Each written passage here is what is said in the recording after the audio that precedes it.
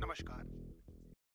Hello दोस्तों, स्वागत है आपका पीडी लर्निंग क्लास में। दोस्तों, अगर आप कक्षा बारह के स्टूडेंट हैं तो रासायनिक विज्ञान यानी केमिस्ट्री की ये दस बातें ज़रूर ध्यान रखना। वीडियो को पूरा देखना क्योंकि वीडियो बहुत ही हेल्पफुल हो सकती है। तो पहली बात यह है कि इस बार के प्रश्न पत्र में प्रश्न अधिक रहेंगे तथा ज़्यादा बड़े प्रश्न नहीं रहेंगे। दोस्तों, आप इसका मतलब समझो कि प्रश्न अधिक रहेंगे, लेकिन ज़्यादा प्रश्न नहीं रहेंगे। छोटे छोटे प्रश्न रहेंगे, लेकिन ढेर सारे प्रश्न रहेंगे। दूसरी बात कि केमिस्ट्री के पेपर में आपको रिएक्शन पर विशेष ध्यान देना है, क्योंकि यदि आप रिएक्शन सही करते कर आते हैं तो आपको रिएक्शन का पूरा मार्क्स मिलता है। तो रिएक्शन अगर आप सही करवाते हैं तो रिएक्शन का आपको पूरा मार्क्स मिलता है। भले ही क्वेश्चन ना आए थ्योरी ना आए, लेकिन रिएक्शन अगर आप सही कर देते हैं तो मार्क्स मिलता है। तीसरी बात यह है कि जितने शब्दों में उत्तर पूर्ण रूप से समझ में आए जाए, उतने ही शब्दों में प्रश्नों के उत्तर देना आवश्यक है।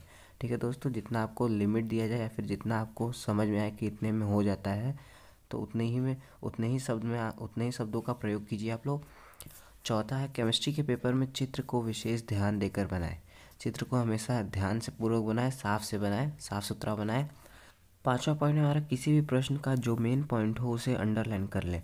तो दोस्तों, जो भी आपका मेन पॉइंट होगा, उसे आप इस तरीके से अंडरलाइन कर लेंगे ताकि एग्जामिनर को एक पहले ही दिख जाए कि क्या बच्चे ने लिखा है, इससे इम्प्रेशन बढ़ता है। ठीक है? छठवा पॉइंट है, अगर आप किसी प्रश्न का चित्र बना देते हैं तो यदि आप उस प्रश्न के बारे में कुछ कम भी लिखेंगे तो भी आपको काफ़ी अच्छे मार्क्स मिल जाते हैं। जैसा कि आपको बताया दोस्तों कि थ्योरी अगर आप कम लिखते हो और उस उस प्रश्न का चित्र अच्छा बनाते हो, उसे लेबल करते हो, उसमें बताते हो क्या क्या है तो आपको पूरे नंबर मिल सकते हैं, ठीक है? इससे इम्प्रेशन बढ़ता है। सातवीं बात है कि किसी प्रश्न को यदि आप लिख रहे हो तो पहले उसकी हेडिंग डालिए। दोस्तों, किसी भी प्रश्न को आप लिखते हो या फिर उसका उत्तर देते हो तो उसकी हेडिंग डाल लीजिए। इससे अच्छा इम्प्रेशन पड़ता है।